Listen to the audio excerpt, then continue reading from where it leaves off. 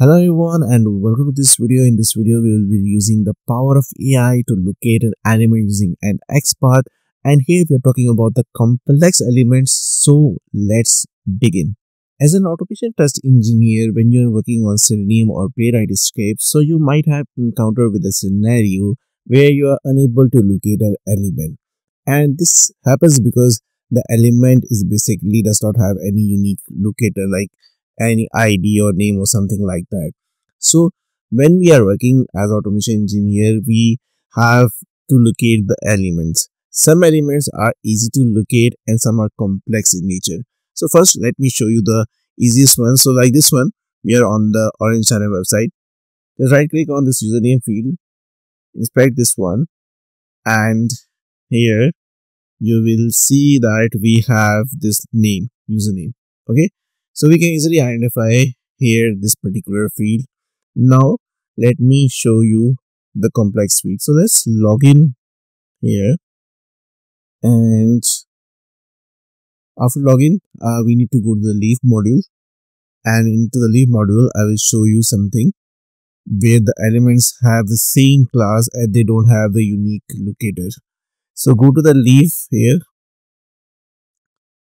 and now we have three drop downs show leaf with the status, leaf type, and we have subunit. So all these are drop downs.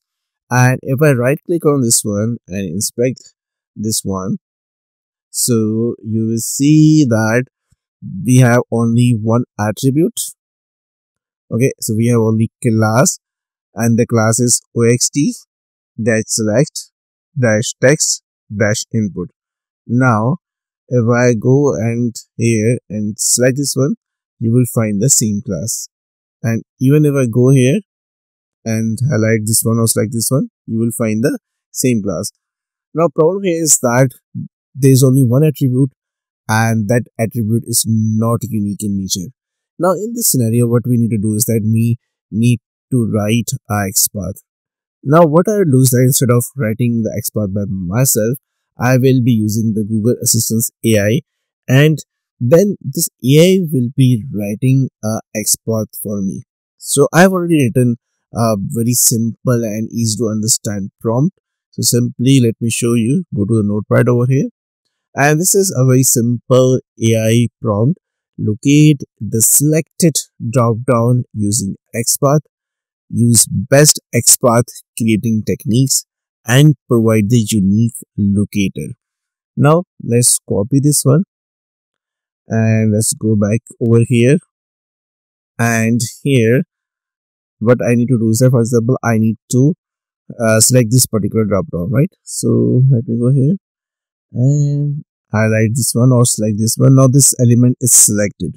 Now let's go to this AI assistance and just provide the prompt and press enter now it will analyze this one and come up with the unique locator.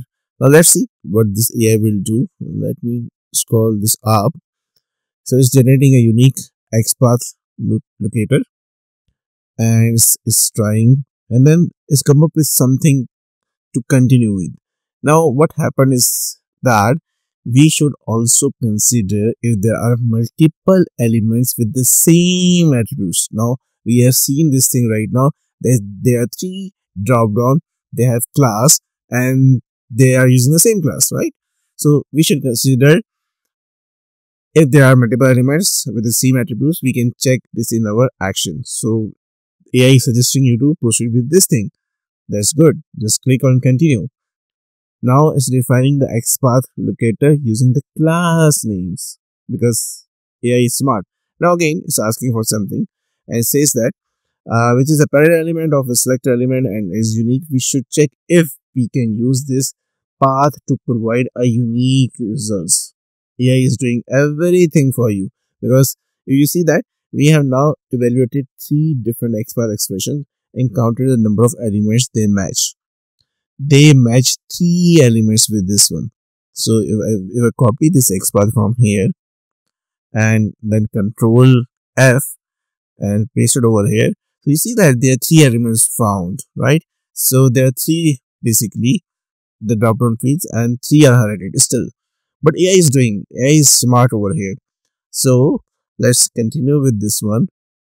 And now it's building a unique XPath for that highlighted field. Now this is the final one and let's copy this one from here and paste it over here. Now this time it should say one of one. And if I scroll down scroll down scroll down. So if I click on this one so you see that this particular leaf type is got highlighted and this is uniquely identified. So that's how you can leverage the AI in order to find the unique locator when we have the complex scenario like this one Thank you so much for watching this tutorial. If you like our content, then do like, comment, share and subscribe our channel. Once again, thank you so much and see you in the next tutorial.